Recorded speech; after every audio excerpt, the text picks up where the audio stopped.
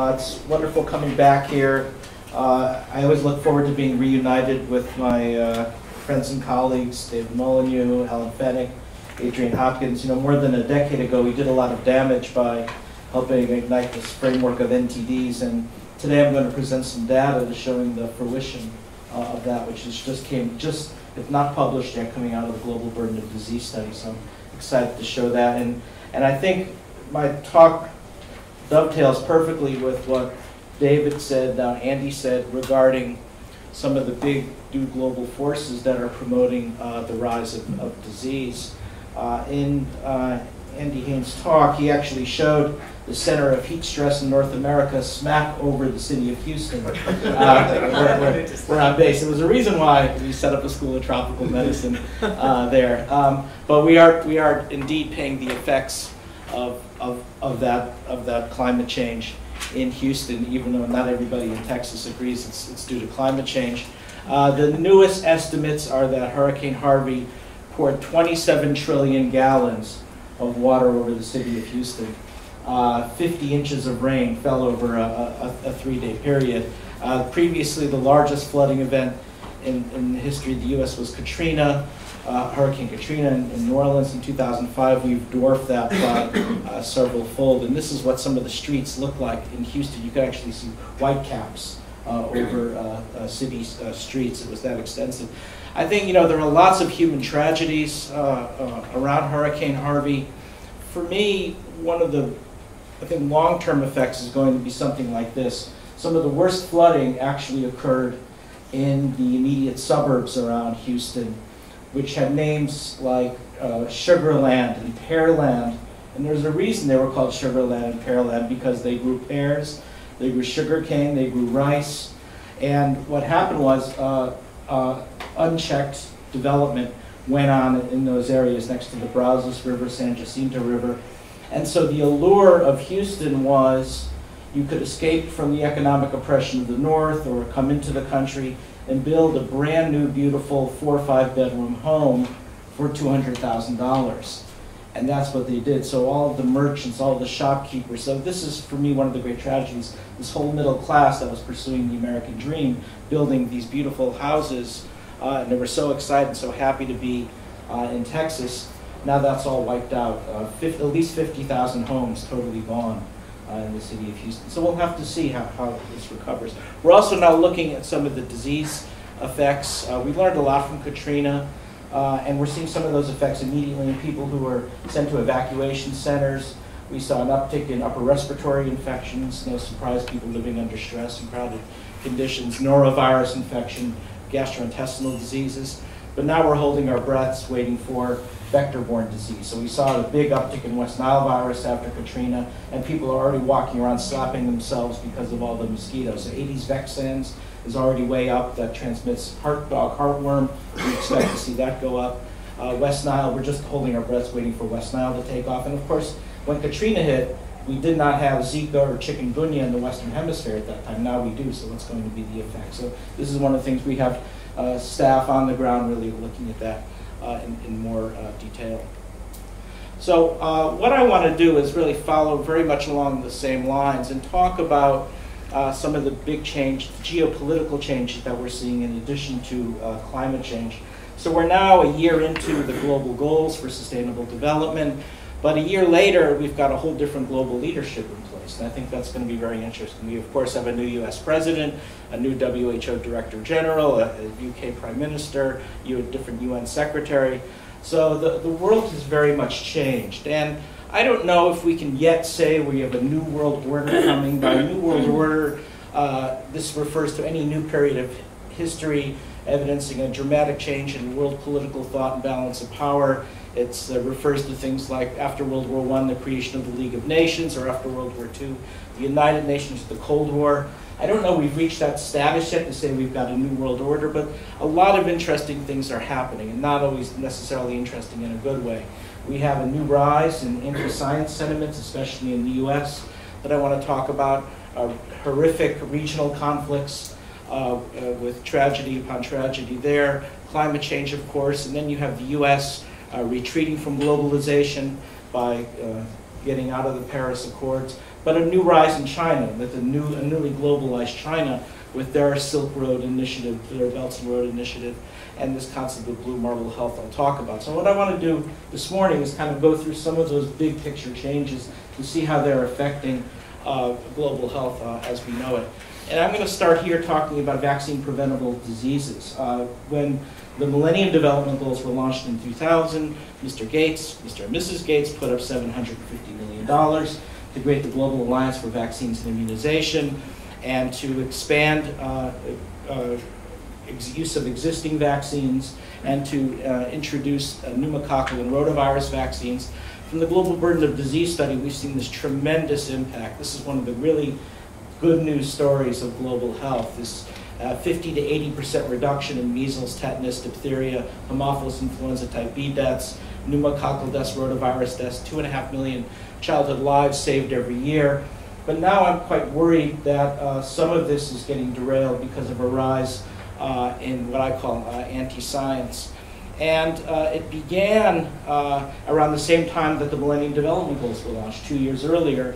Uh, Andrew Wakefield and his colleagues here in the UK uh, put this paper out in the Lancet claiming that uh, measles, mumps, rubella vaccine, the MMR vaccine, was linked to autism and, and worked out this very convoluted kind of mechanism that it were operated through the GI tract. It took about a decade for this paper to be retracted from the Lancet, uh, which it eventually was but it caused a lot of damage. It caused a rise in anti-vaccine sentiments in the UK and Europe with measles outbreaks, and then in the, and extended clearly to the US, where we had this rise in anti we call anti-vax sentiment in California, uh, which uh, resulted then in uh, the year after this slide was published in massive measles outbreaks in, uh, in Orange County and Marin County, uh, California. Measles is often the first breakthrough infection you see uh, when vaccination coverage rates goes down because it has such a high R value, such a high transmission value. Uh, the way we regulate vaccines in the United States is a state by state level, which makes it very complicated. So California allowed non-medical exemptions. Then when the, the measles outbreaks happened, the California legislature met and closed non-medical exemptions. It basically said, if you want your child to attend public schools, your child must be vaccinated. So that was a very courageous move by the California legislature. The problem was uh, everybody moved to Texas after that. Uh, so, um, so what happened was uh, a number of things happened at the same time. One, uh, your good colleague Mr. Wakefield decided to move to Austin, Texas, where he, where he now lives. He's now he's, he's the director of this very slick uh, documentary called Vaxxed, which uh, shows children being vaccinated. He calls autism actually vaccine injury and makes this compelling story that the U.S. Centers for Disease Control are involved in this, this vast conspiracy and cover-up. It's a very slickly, beautiful, beautifully done movie, except, of course, that it's total bullshit. It's, it's all, it's, it's all to totally made up, but he's been very effective at showing this around the state of Texas. And a new organization has popped up called Texans for Vaccine Choice. Um, do we get the internet here? We do. We just do a quick. It's kind of interesting to uh, to just Google Texans for vaccine choice on there.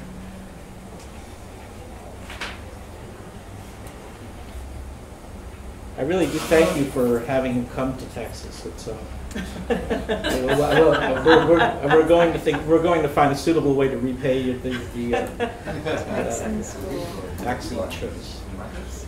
Vaccine choice. There it is. There we go. Just click on that. And here you see what the website looks like, uh, Texans for Vaccine Choice. Um, here's, uh, they're very effective at their, their graphics. This is a picture of God. This is what God looks like. right? And here's a picture of the baby. Of course, we've got the Texas colors there. And then if you go up, scroll up a little bit, uh, you can then click on exemptions and they will they don't they will take you through all the steps you need to exempt your child out of getting uh, vaccinated. So it's just a few clicks on the internet, and your child is now no longer has to get vaccinated. I'm sorry, go back to the presentation. So this is what's uh, going on in, in, Texas in a big way, and the the results are. Did I screw you up? the, the results are this big rise of non-medical exemptions. We don't even know the homeschooled kids, but we estimate around 100,000 kids now in the state of Texas are not getting vaccinated. And with it, we're, and just not homogeneously across the state, Austin, Texas, where, where uh, the major proponents are, uh, is probably ground zero. So we are just waiting for measles epidemics. It's so frustrating to see, you see this train coming two miles down the tracks, and you're watching it approach, watching it approach, but nobody seems to want to get out of the way. Uh, the Wake, what Wakefield has also done in colleagues is he's gone now, he's targeted certain groups. He's gone to target the Somali immigrant community in Minnesota, claiming that vaccines are a major conspiracy. Uh, and uh, as a result got uh, a big drop in the Somali immigrant community where only 40% of the kids were vaccinated. They are now just finishing a massive measles outbreak resulting in 25 kids being hospitalized uh, and about 80 cases of, measles all, all, altogether. Uh, and so I've been, we've been fighting back, um, trying to create some policies and advocacy around this. So this is a paper we just had out in the Journal of the American Medical Association with an MD PhD student from Stanford, who some of you know, Nathan Lo, to show how once measles vaccination coverage just drops 5%, the number of cases of measles will double or, or triple. It's nothing really very um, novel, but it, it, it sort of reinforces uh, the message that goes out there. And then I've taken it on in a different way by uh, really writing about this in, in, the public. So I wrote uh, this piece in the New York Times back in February, how the anti-vaxxers are winning.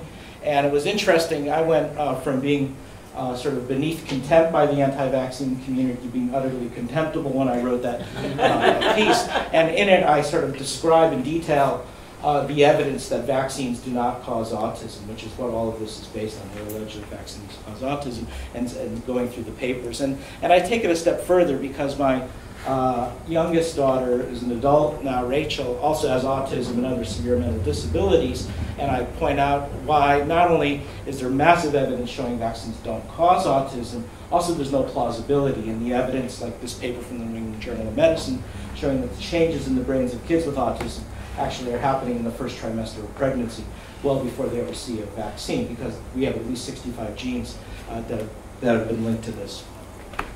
Now we're starting to see this anti-vaccine movement go global. This is work from Heidi Larson here at the London School, who has shown a big rise in France, uh, Italy, uh, and elsewhere. And so I'm, I'm worried that this, this thing is starting to take off. The U.S. is very good at exporting its uh, culture. We export our rock stars, we export our our Hollywood movies We're exporting anti-vaccine sentiment. So the big worry now for me is what happens when this hits the middle class in Brazil, in India, in China, in Nigeria. Could we actually have a reversal of, of global, of global goals? And, um, and I, have paid the price for this. The anti-vaccine community has now singled me out. Uh, they call me the Dr. As the boy who cried wolf, meaning that I'm grossly exaggerating measles. And actually, we've put out a book called Melanie's Marvelous Measles, how it's good to get measles, uh, and it actually is a nat natural thing that you need to do in life is have your child be exposed to measles. And they ignore the fact that measles is the biggest killer of children uh, in the world before, uh, before uh, Gavi uh, came along. And then it has a different political flavor. So the, in Texas, it has kind of an alt-right flavor. Um, so, and it's interesting the things they tie together. Wants vaccine mandates, that's true a post-travel ban to Somalia during Somalia's measles uh, outbreak. Uh, me, I don't quite understand that one. lives in a sanctuary city. I guess that's, that's, that's in, in, denial of daughter's vaccine cause autism. But this is all coming to a head next week, so I have a lot to come back to. So, the 7, September 18th and 19th, the anti-vaccine movement has, has announced they're going to have two days of rage uh, in Houston next week. I'm already all over their website, so we've now had to uh, alert the college about security and everything else. So, it's, uh, so hopefully I'll be well enough to be invited back uh, next year. Um, and, and I also blame some of this on us, meaning the scientific and medical community. This is an interesting survey that a very nice policy group in, in Washington, D.C. has recently completed uh, that says most Americans cannot name a living scientist. So only 19%, and I'm, I'm wondering if it would be similar in the UK, probably a little better in the UK, but only 19% of Americans can name a living scientist. And, he, and, and the, it was led by Bill Nye the Science Guy, Neil deGrasse Tyson, Stephen Hawking, uh, Richard Dawkins, and, and then it quickly falls off. And part of that is, I think, you know, we, we get so fixed on our grants and our papers that we don't spend the time we need to really do the public engagement that's necessary. And I think, you know, in the past, when I was growing up as a young scientist, it was if you engaged the public directly, it was seen as some sort of grandstanding. You weren't supposed to do that. And I think we've got to flip that around now because the rise of anti-science is, is so high that I think we need to kind of put that back on, be on social media more. The Pew Foundation has done a study that very few scientists ever talk about their science on social media. How many of you are on Twitter? You do a little better than, than most, so that's, that, that's, that's getting better. But I, you know, I'm not saying Twitter's the answer, but I think uh, being on social media, being out there in the public is something that all of us, it's going to be all of our responsibilities uh, to do now. Uh, the other big trend that we're seeing globally is from the Global Burden of Disease study, is something that I've been pushing back on a little bit, uh, which says that um, uh, we've done such a good job through Gavi that we've knocked down a lot of the neglected and infectious diseases, and we're seeing a rise in non-communicable diseases, kind of a global health uh, whack-a-mole. One of the consequences of that we're seeing is a lot of comorbidities, and this is, and I think this is something that needs to be explored more. So in places for India, for instance, there's some evidence that the highest mortality rates from dengue are those with underlying diabetes. Or same in, in Texas now, we're finding on the Mexican border high rates of comorbidities from tuberculosis and diabetes. And I think this is going to be an important trend uh, as we look for it. Don't think about it as NCDs versus infectious and neglected diseases. We're going to be having both together. These are the new numbers from the Global Burden of Disease study. They're unpublished. These are the new numbers for 2016. And you can see that when you look at the NTDs as defined by the World Health Organization in malaria, we still have huge numbers of uh, people uh, living uh, with at least uh, one neglected disease. So the numbers are still astonishingly high, and they still are probably the most common afflictions of people living in poverty, led by diseases such as ascaris and hookworm and malaria and schistosomiasis. Scabies, we have some new numbers from scabies showing that it's, it's, it's really quite, quite, up there as well. New numbers from dengue, which are very, uh, which are quite impressive. Uh, working with Alan and David more than a decade ago, uh, this, this article came out about us. I don't know if you've seen this, how three scientists marketed and neglected tropical disease raised more than a billion. What did you guys do with your share? uh, but, you know, we, we, we did a lot of advocacy, and I think this is also this public engagement, these two back-to-back -back papers, and these are the new results coming out of the integrated uh, mass drug administration uh, approaches. And they're looking really exciting. The early numbers coming out uh, were not looking so good, but I think we just needed a little bit of time. So this is 10 years after the scale up began through support of USAID, through DFID, UK aid, and uh, the, the, numbers uh, are, are impressive. Uh, the, this is the, these are the actual prevalence numbers. These are the age, age standardized prevalence reduction. So big decreases in lymphatic filariasis, ascariasis, river blindness, schistosomiasis. Now we finally are seeing some numbers that show it's really going down through efforts of, of Alan and others. And, uh, trichuriasis, trachoma, hookworm maybe not doing uh, quite, quite as well for reasons that we can talk about. But clearly it's showing that if you take the time to do the public engagement, you can have a big impact. Uh, these are the new DALY results, disability adjusted life years, and generally they, they seem to be going down. Uh, uh, interest, one of the new additions to the World Health Organization is uh, snake envenomation, and the DALYs from that are extremely high, mostly due to deaths. But we are seeing increases in diseases like scabies, dengue, foodborne trematode infections, and a big uptick in cutaneous leishmaniasis, including deaths from some of those diseases, although I think the deaths are probably underestimates from schistosomiasis and Chagas disease. So I think what we're seeing is uh, uh, great progress being made through mass drug administration approaches, but now we have all of those terrible forces that David and Andy brought up, uh, conflict, poverty, climate, and, and I think they're all very much uh, working together as major drivers, especially of vector-borne uh, neglected tropical diseases. Let me give you a couple of examples. Let's look at climate first. From the new Global Burden of Disease study, we looked at country by country of the prevalence rates of each of these, of, of each of the major neglected tropical diseases. And we can go over these in more detail at the, at the question and answer or one of the panel discussions. But one of the interesting features is the highest rates of neglected tropical diseases uh, were uh, overwhelmingly in the red, the red countries. Those are all conflict, post-conflict countries. So conflict, post-conflict seems, I think, is going to be one of the major uh, uh, blocks in really achieving London Declaration goals and all the other targets for neglected uh, tropical diseases. So just a few examples. We're seeing uh, in the ISIS-occupied areas of Syria, Iraq, Libya, and Yemen, this explosion of diseases like leishmaniasis, measles, polio, uh, and others.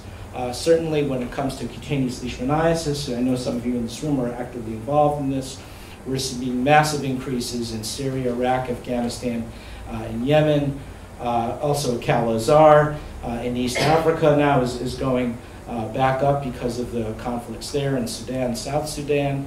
Uh, cholera now in Yemen uh, because of the baseline water insecurity and collapsed healthcare infrastructure, uh, which existed even before the conflict, and now with the Saudi, with the surrogate war between Saudi Arabia and, and, and, Iran in, in Yemen. Uh, now it's, it's absolutely taken off. Venezuela is getting hit very hard now because of the political instability there, big increases in, in Chagas disease, leishmaniasis, urban schistosomiasis, malaria, and arbovirus infection. So clearly, conflict is something that we're going to have to address if we're going to really take on uh, uh, the goals. The other interesting finding, if you just look at countries with the largest total numbers of neglected tropical diseases, not just the prevalence rates, total numbers, you also get a di different picture. And that is that um, most of the, the largest number of cases of neglected tropical disease now occur actually in the 21 wealthiest economies. The G20 countries uh, together with Nigeria. Well, how can that be if they're the wealthiest economies and these are poverty-related neglected diseases? So it's the poorest of the rich that now account for the most of the world's uh, neglected diseases. Most of the helminth infections, visceral leishmaniasis, tuberculosis, dengue, Chagas disease, leprosy. I don't know if this is a term will catch on. I, I, I coined the term blue marble health just to differentiate it from, from global health. And it has a lot of policy implications because it talks about how the G20 countries need to, um, need to have a greater commitment to their own neglected population. So I think you know, we have to look at countries like China, for instance, which has launched this new Belt and Road Initiative uh, which is this ambitious economic outreach in Asia, Africa, and Europe. Uh, Three million Chinese working in Africa now, more than $100 billion investment. What are the Chinese doing for neglected tropical disease control? Anybody? Yeah, that's about right. Um, so, so I think you know this is where we have to look for. We have, need the. Uh, it's so much has been fallen to the U.S. and the U.K. governments to take on neglected tropical diseases. We, I think the focus from a policy perspective needs to be on the other 20, and a lot of this is working in, in concert with uh, climate change. Uh, we also, and going along with this blue marble health concept, the poorest of the rich, we're really doing a deep dive looking at the U.S. Gulf Coast, because the U.S. Gulf Coast is the epicenter of American poverty, climate change, according to Al Gore, urbanization, that scenario I told you about, all the people moving into sugarland and pearland human migrations. These are some of the new numbers we've got on the Gulf Coast. Widespread neglected tropical diseases among the poor. So uh, I'll end saying, you know, we, I don't have all the answers of what we're going to do. We're very focused on making vaccines uh, for uh, these diseases. We have a new uh, leishmaniasis vaccine uh, that's now in development, a Chagas disease vaccine, uh, and others. Uh, one of the problems that we're having is getting people to care about this. This is my favorite quote from a very uh, popular TV, uh, uh, TV host in America, David Letterman, who wrote once, or said once that Pepsi has a new Doritos flavored Mountain Dew. No, we don't have an Ebola vaccine, but we do have the Doritos flavored Mountain Dew. We don't have a way of financing vaccines for the poorest people. I know a lot of leadership here at the London School and the Wellcome Trust has been instrumental in setting up CEPI, this coalition for uh, epidemic uh, preparedness innovation for new vaccines. I think that's one mechanism. I don't know it's going to address all the mechanisms. Uh, I don't think this by itself will be adequate, although it's a, it's a tremendous uh, start. So how am I for time? One minute. One minute. Uh, so um, we, we are uh, having uh, a big effort to try to make vaccines for these diseases. The scientific hurdles we haven't really gone into much. Our, our goal is to achieve what's called reverse vaccinology. That was first done by Rino Rappuoli, who looked at genomic sequences, and by this uh, method was able to uh, do a high throughput approach to identify 600 potential vaccine candidates, express them in E. coli, purify them, make antibodies, identify the surface antigens, and they just licensed the first reverse vaccinology vaccine, Bexsero for meningococcal B. The problem that we're having with our complex eukaryotic targets, um, I call it, we're still at a holy grail because we have large genomes similar in com complexity to the human genome, the inadequacy of bacterial expression system for eukaryotic antigens, low throughput, not high throughput approaches, and deficiencies in animal models. But we've made a lot of progress, and we have now a new Chagas vaccine that's moving into the clinic, so we're very excited about that. This will be a therapeutic vaccine, a new leishmaniasis vaccine that simultaneously targets the parasite as well as the sandfly. It turns out that the sandfly is absolutely instrumental. They, they immunomodulate the host, and you have to take on both the sandfly and the parasite at the same time. And now we're looking at this system of what we call vaccine diplomacy, basically taking our laboratories and then franchising out them out across different parts of the world. We're working in Malaysia, and now we're doing a lot with Saudi Arabia to build capacity, because right now there's no capacity for making new vaccines across the Middle East uh, and North Africa. So I'll end here by saying Elie Wiesel once said, man's weakness is not in achieving victories, but in taking advantage of them. I think that's very much the case when it comes to neglected diseases. We made great progress. I'm worried now we're going to lose ground because of all the global forces that are happening. So thank you so much.